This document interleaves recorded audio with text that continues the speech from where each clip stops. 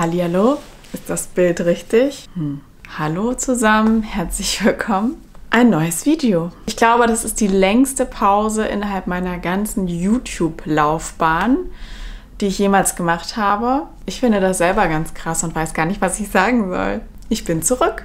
Ich hoffe, ihr seid alle noch da und auf YouTube aktiv. Es hat sich viel getan und viele von euch oder einige von euch sind ja auch auf Instagram aktiv und schreiben mir. Und dann wollte ich nochmal sagen, hallo, vielen lieben Dank, dass ihr mich auf dieser Reise begleitet. Ja, es war wohl nötig, dass ich hier so eine kleine YouTube Pause mache, also Pause im Sinne von das lange Video, was ähm, das lange Video, es heißt ja Longform-Video, also das lange Video auf YouTube war jetzt ähm, lange Zeit nicht mehr da, sondern immer nur so diese Kurzvideos, diese Shorts, wenn ihr wisst, was ich meine. Ich habe versucht, den Kanal über die Shorts noch ein bisschen zu befüllen. Das sind Videos, die ich ja eh auf Instagram hochlade und die eh auf meinen Kanal hier auf YouTube auch gut passen. Ich versuche mich jetzt ein bisschen zu erklären, was ich so die letzte Zeit getrieben habe und warum es hier so still, still war. Ich hoffe, ihr seid da und hört mir zu. Was ist passiert? Also erstmal gab es ja so eine krasse Entwicklung hier auf YouTube und Instagram und TikTok. Ich weiß nicht, diese Kurzvideos schießen ja durch die Decke und es das heißt überall nur noch Kurzvideos, Kurzvideos, Kurzvideos. Und natürlich muss ich auch meine Zeit richtig einsetzen. Wir hatten einen super schönen Sommer, wo ich eben viel weniger Zeit hatte, um Videos zu drehen. Mein Großer war zu Hause, er hatte seinen letzten Tag in der Kita. Okay, bevor wir damit anfangen, muss ich mal ganz kurz sagen, Nochmal ganz kurz zu Instagram und Co. Es hat sich viel getan und ich versuche natürlich die Balance zu finden zwischen Kurzvideos, die auch eine, eine, gewisse Zeit beanspruchen und lange Videos zu haben. Nicht so ganz geklappt mit den langen Videos. Deswegen habe ich jetzt erstmal eine Pause eingelegt und ich hoffe, ihr seid mir nicht böse. Und ich werde jetzt ab sofort kontinuierlich auf jeden Fall mindestens einmal die Woche ein Video hochladen und werde mich dahinter klemmen und stemmen. Es steht nämlich super viel wieder an. Beide Kinder sind gut untergebracht. Die Sommerferien sind vorbei. Leute, wir haben eine wunderschöne Einschulung hinter uns.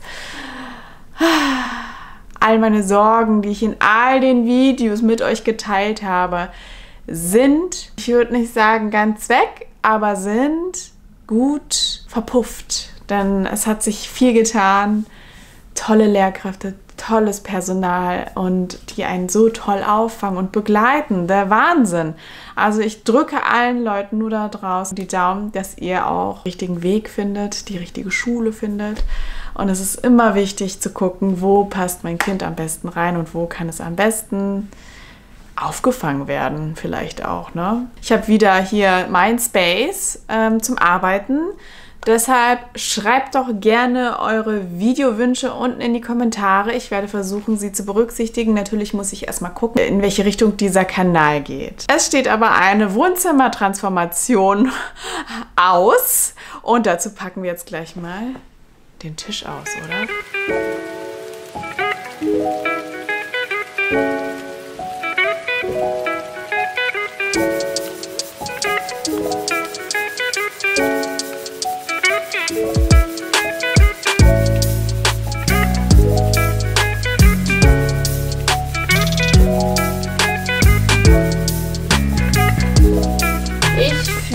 Gerade alle Sachen hier hinzu, die ich gleich bei Ikea holen werde.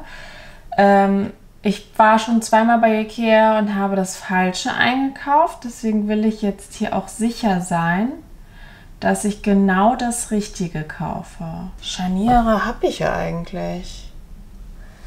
Das sind eins, zwei. Da brauche ich vier Stück. Ja. So sieht's aus. Das machen wir jetzt mal fertig.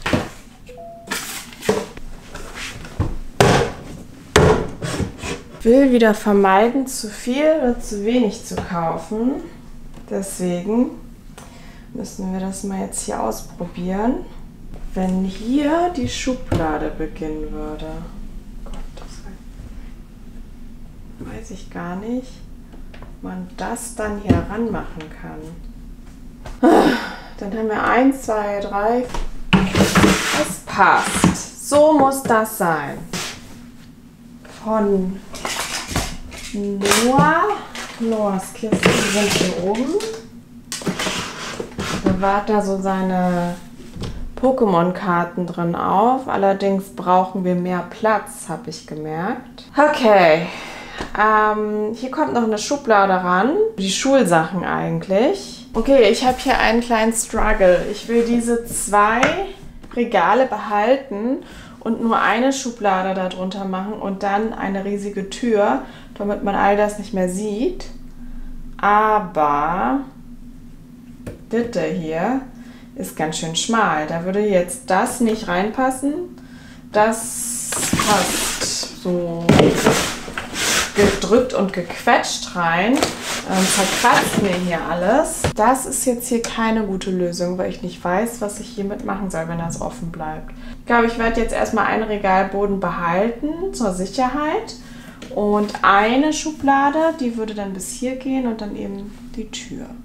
So, wir haben hier seit Ewigkeiten das hier auf. Mein Plan war es, große Sachen da zu verstauen. Dazu bräuchte ich eigentlich nur so eine Tür, so eine Front. So, und ich habe jetzt mir eine Sache geholt, und zwar für meinen Schreibtisch, das hier. Aber das wollte ich eigentlich gar nicht kaufen, also müssen wir jetzt immer weitermachen. Jetzt kaufe ich hier den ganzen Laden noch leer. Guck mal, wie süß das hier aussieht mit dem Hochbett. Das erinnert mich so an unser schönes Hochbett lustig mit der Wandfarbe. Das ist doch genau unser Zimmer. Schrank, den ich so schön finde. Mit diesem Regal da unten. Das hat doch auch was, oder? Aber das passt jetzt natürlich bei uns gar nicht mehr rein, weil wir ja jetzt die Fronten haben. Aber so ungefähr sieht halt unser Schrank auch aus. Nur ein bisschen schmaler. Die Platzer.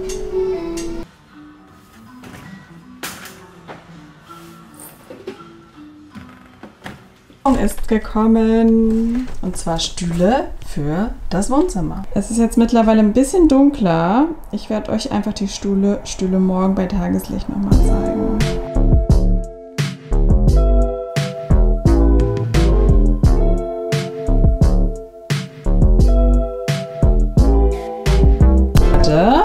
Mit so einem Henkel, auch von Ikea. Und hier haben wir jetzt erstmal alle Pokémon-Sachen gesammelt, weil das ja recht viel Krimskrams ist.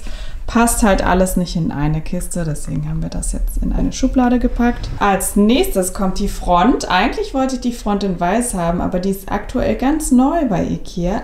Und ich fand es irgendwie in Kombination mit all dem Ganzen, den Schrank kann ich euch ja nochmal im Detail genauer wann anders zeigen, aber ich fand das in Kombination eigentlich ganz nett, wenn das mal ein bisschen anders aussieht. Man würde meinen, dass es äh, die Holzplatte ist so, wie sie aussieht, aber das ist nur aufgeklebt, glaube ich. Aber ziemlich gut, oder? Also man würde das jetzt nicht meinen. Also es ist nur eine Holzspanplatte. So, drinnen Spielzeugkisten, da fehlt noch eine dritte und eigentlich steht da auch dieses Ding drin. Wenn wir es einmal so ein bisschen abgebaut haben, kommt es wieder hier rein, dann steht es nicht im Raum querbeet rum. Wir brauchten einfach ein, eine große Verstaufläche für so Playmobil-Krimskrams, weil wir einfach, ich schwenke mal rüber, zu viel Playmobil haben. Ach so, guckt mal, ein kleiner Schwenker. So sieht es aktuell hier aus. Das hier entnommen. Aber es ist okay. Wenn der Große das haben möchte, dann darf er das ruhig für seine Schulsachen benutzen. Der Maler kommt jetzt. Ich muss hier dringend schnell aufräumen und die Gardinen abhängen.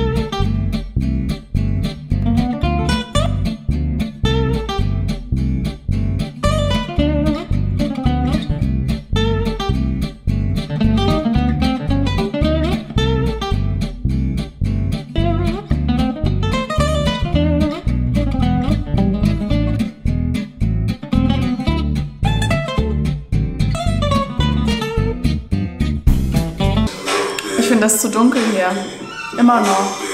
Und ich finde, das ist kein beige, das ist ein hellgrau. Ich bin ein...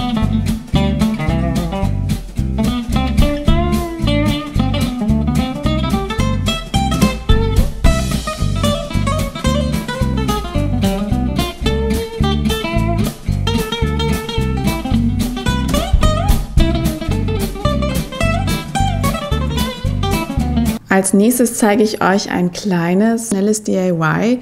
Da braucht ihr so ein Klebeband, so ein Verdichtungsband und Leinwände. Das Verdichtungsband könnt ihr je nach Gusto an eure Leinwand kleben und einfach mal so nach Gefühl ein bisschen rumgeklebt. Probiert es doch einfach mal aus. Ich habe hier einfach gerade Linien genommen, aber auch kurvige, so halb ovale Dinger rangeklebt und anschließend mit meiner Tochter bemalt. Das hat ultra viel Spaß gemacht. Flüssig. Die ist flüssig. Ich muss erstmal mit der Rolle hier und du machst dann mit dem Pinsel. Komm mal jetzt, bleib mal sitzen. Guck mal, setz dich mal hier hin. Pinselst du hier den Strich entlang, okay? Okay. Mache ich. Kann ich deine Ärmel hochkrempeln? Richtig feste drücken. Und noch mehr Farbe brauchst du, Schatzi. Das ist zu wenig Farbe. Mama. Ich glaube, wir brauchen eh zwei Anstriche. Oder was sagst du? Ähm, das gleiche.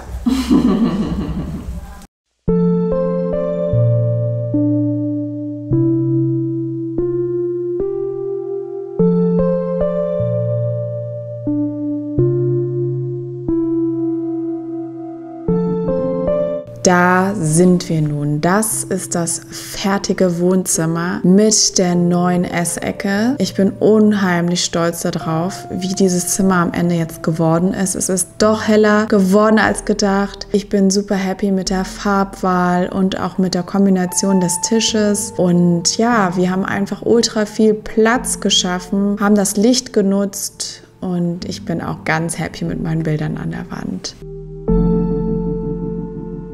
So, ich hoffe, das Video hat euch irgendwie auch gefallen.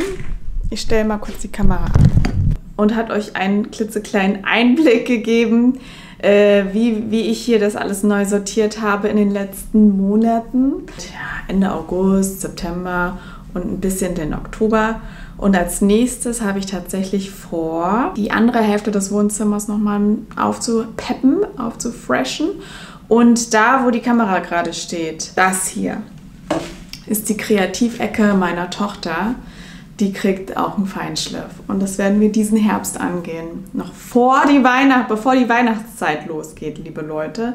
Weil dann geht es richtig rund mit Advent, Kalender. Uh, ich habe mir schon ein paar Inspirationen rausgesucht. Aber ich bin ehrlich gesagt noch nicht so weit. Ich bin dieses Jahr ziemlich langsam mit allem.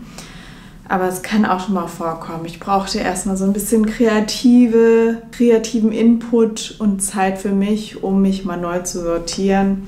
Ich habe mich aber zu krass ablenken lassen von allem und alles um mich herum. Freue ich mich umso mehr, wenn ihr diesem Video einen Daumen nach oben gebt und auch weiterhin Teil dieser Community sein wollt. Und bitte vergesst nicht, die Abo-Glocke zu aktivieren.